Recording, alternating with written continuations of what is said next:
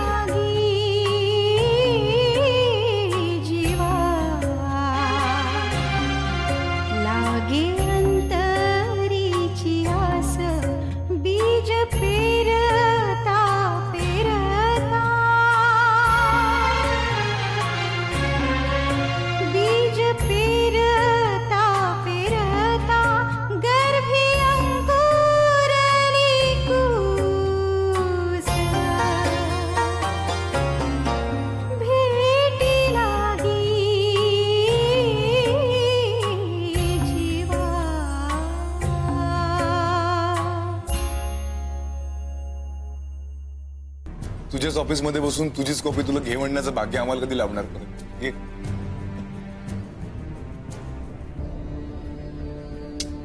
ए मन्या.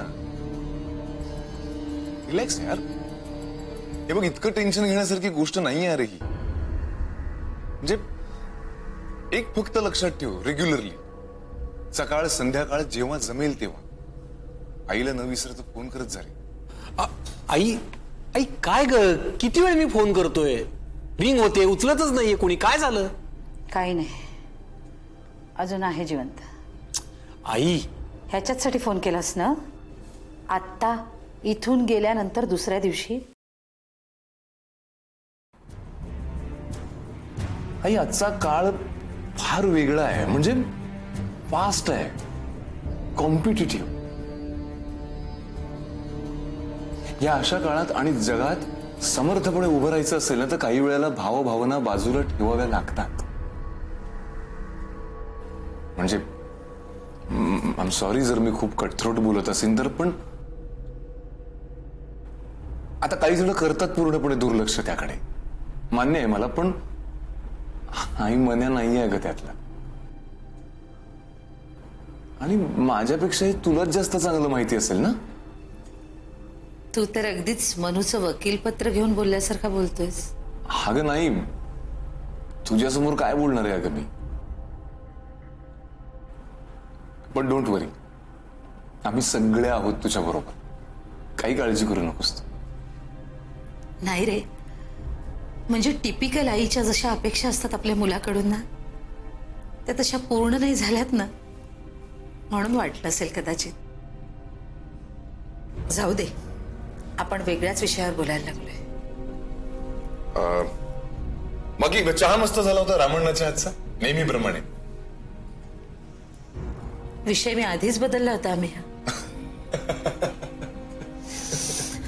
बरं ते मृत्यूपत्राचं जरा बघ. एक बास ग. किती वेळ ते एकच एक चाललंय तुझं? आणि अरे आता काय? माझे दागिने. हं, त्यांचं काय? बँकेच्या लॉकर मधले माझे दागिने आहेत ना? ते मनोहरच्या बायकोच्या नावावर करायचं. काय?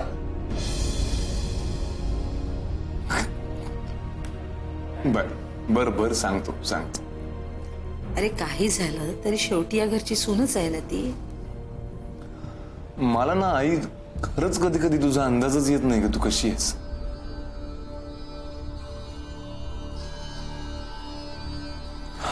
येऊ मी. हो पण अं, उद्या परवापर्यंत हे होईल ना सगळं? हो करतो. मी हे लगेच देऊन टाकतो सगळ्या धर्माधिकारींना. आणि सह्यांचे कागद घेऊन येतो. डोंट वरी येऊ मी आता? हो. चल. सावकाश जा आणि आई आता काय? मनूला यातलं काही सांगू नकोस. तुला शपथ आहे माझी.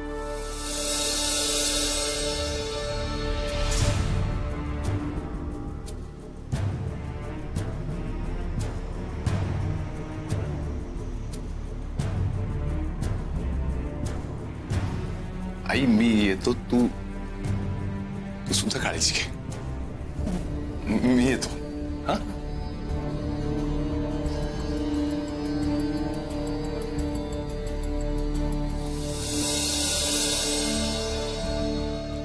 लईच पुढं गेलंय बा माणसाचं आयुष्य वाढलंय. आता हे चांगलं का वाईट? असं.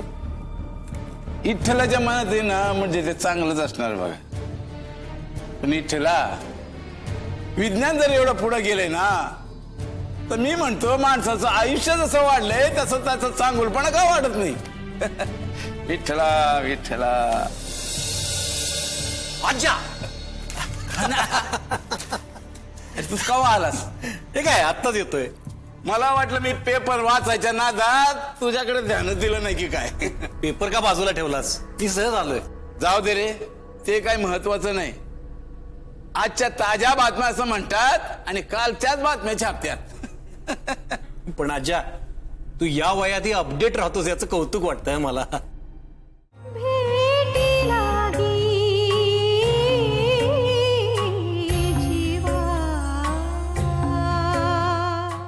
अपडेट म्हणजे? माहितीये मला. माहितीये हो हो. बर.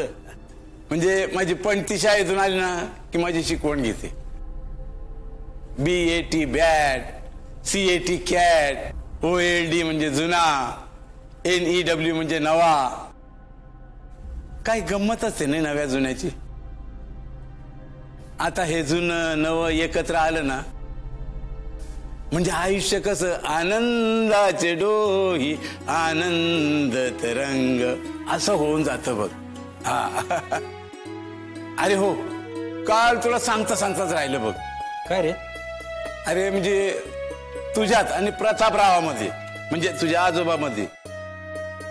बऱ्याच गोष्टी सेम टू सेम आहेत. Same to same same to same म्हणजे सारख्या बरं का?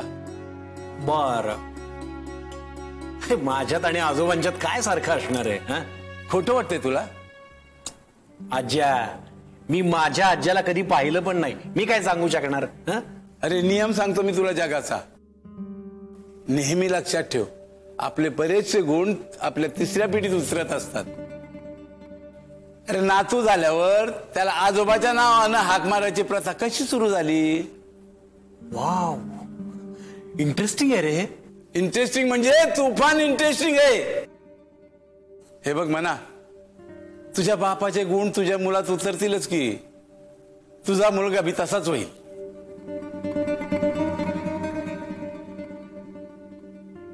आज्या मुळात भविष्यात मला मुलगा असेल ना रे. अरे या का खुळा तू? अरे काय बोलतोय तुझ्या मेंदूला काय नारू झालंय का काय? कळत नाही रे काहीच.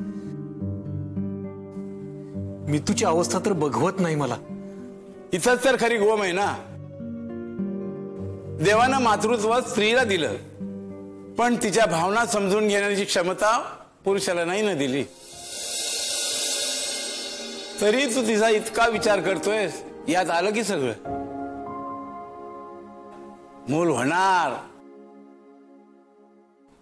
अख्खी कबड्डीची टीम होईल बघ तुला. आज्या. आणि मग माझ्या विठू सारखा तू बी होशील लेकरवाळा. एक कडेवर एक हाताला आणि दोन चार पाठी मागणं.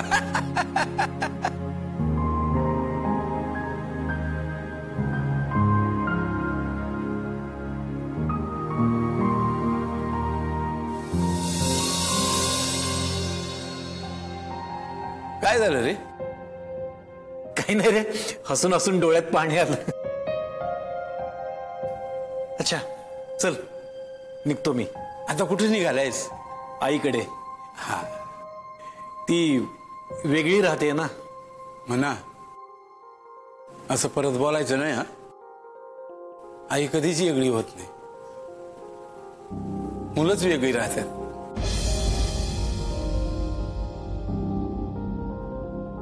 आई तिथंच असते. तशीच. आईकडे चाललायस ना. जा. नंतर बोलू आपण. गॉट इट अच्छा तू म्हणजे ना. बरं चल. येतो मी. हा ये ये. सांभाळून जा रे बाबा. हो हो. आई तुझी आठवण येते. विठ्ठला पांडुरंगा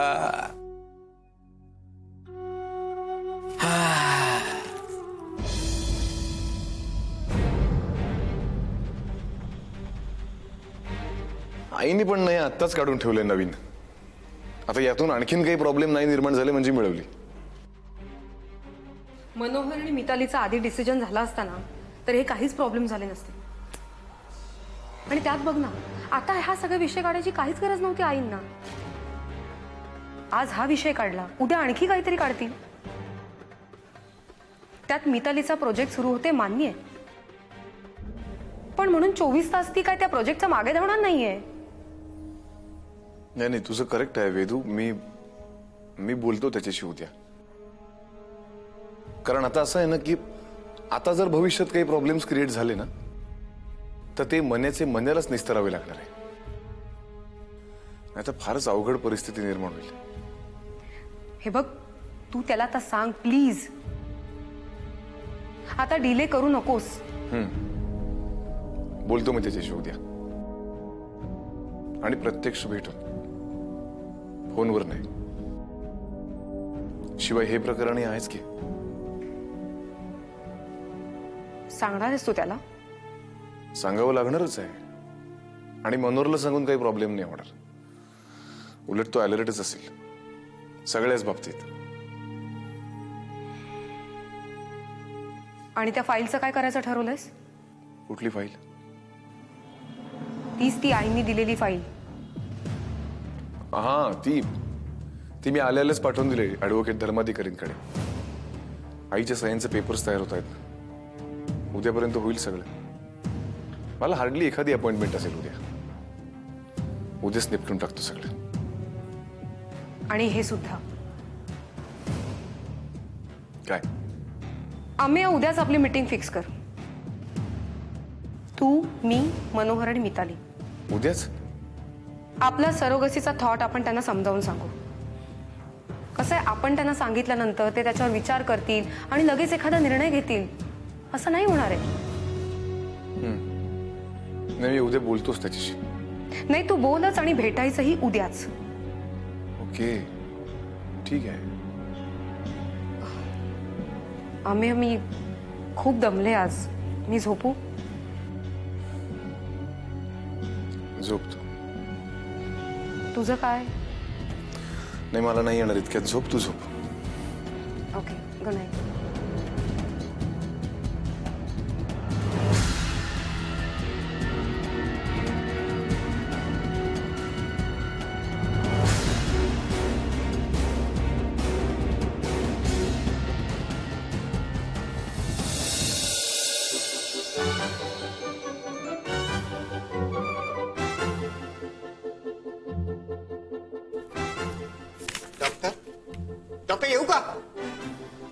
चांगली सुरुवात आहे दिवसाची.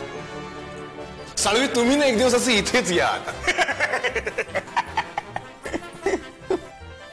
मग कशी आहे तब्येत आता? सो आय होप की एव्हरीथिंग इज फाईन नाव अहो तुम्ही दिलेल्या औषधामुळे मला फाईन भरावा लागला आणि तुम्ही म्हणताय एव्हरीथिंग विल बी फाईन बापरे काय झालं काय? अहो झालं काय म्हणजे काय? मागच्या वेळेला तुम्ही जी औषधं दिली होती खरं तर त्या औषधांनी मला चांगली भूक लागायला लागली होती.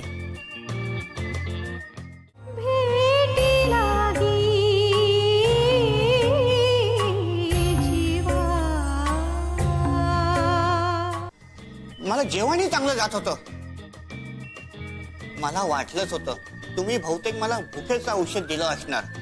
बापरे तुम्हाला आधीच लक्षात आलं होतं? बर बर बर. मग पुढे? अहो, मग पुढे काय? पुढे येईल ते खास सुटलो.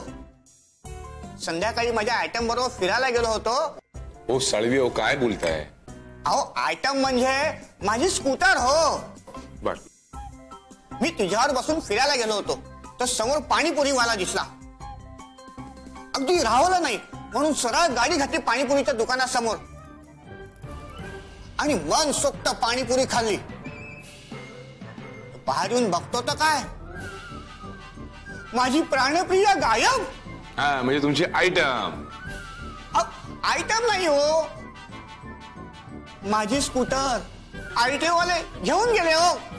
फाईन भरून सोडवावी लागली मला. नो पार्किंगमध्ये गाडी लावण्याची कल्पना तुम्हाला माझ्या औषधामुळे नाही ना सुचली? छे छे काहीतरीच काय डॉक्टर मी?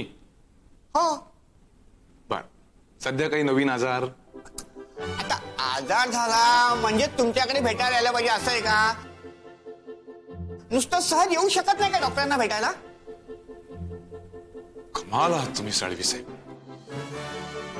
तुम्ही इतक्या सकाळी सकाळी मला सहज भेटायला आलात. दुर्मिळ असतात अशी माणसं जगात फार. आणि ती जगली पाहिजेत. तुम्ही ऊन वाढायच्यात घरी जाल हो हो. ऊन वाढायच्या आत घरी गेलं पाहिजे. नाहीतर सनस्ट्रोक होईल नाही का? हा? दहा मिनिटात ऊन वाढेल आता. हा? हो हो हो. येतो मी. या. हो हो हो.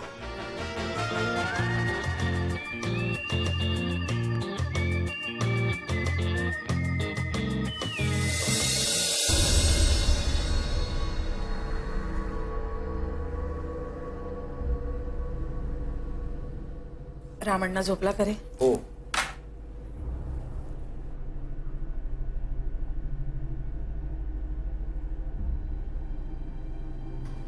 जेवला तो? जीवला।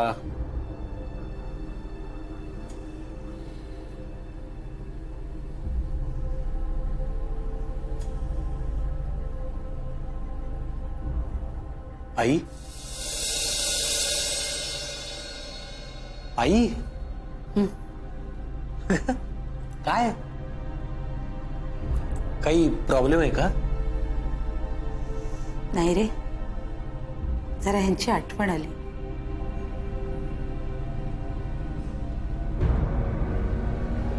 आई. काही नाही झालं मला. चांगली धडधाकट आहे मी. नको काळजी करूस.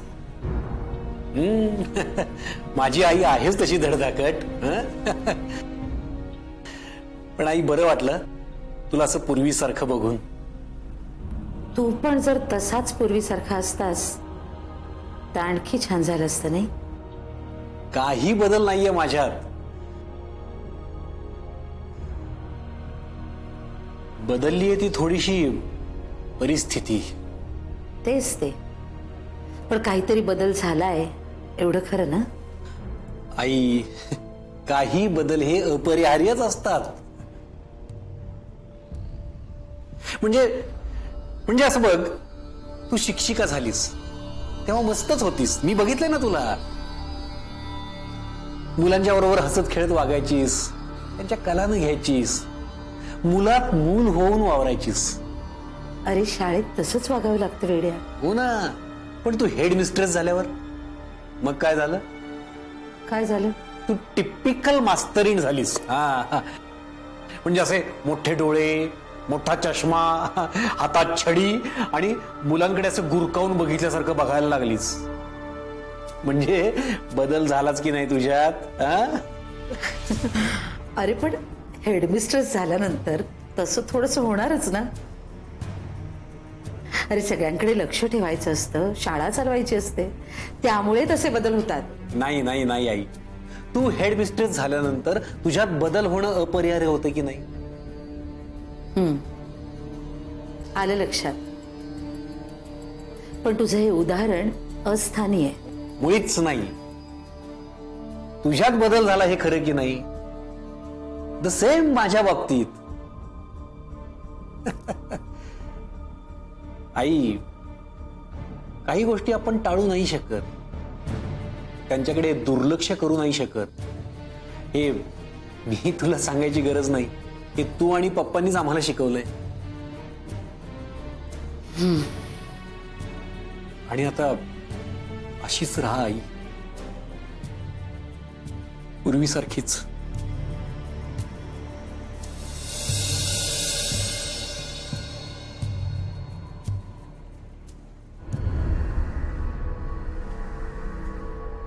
आई.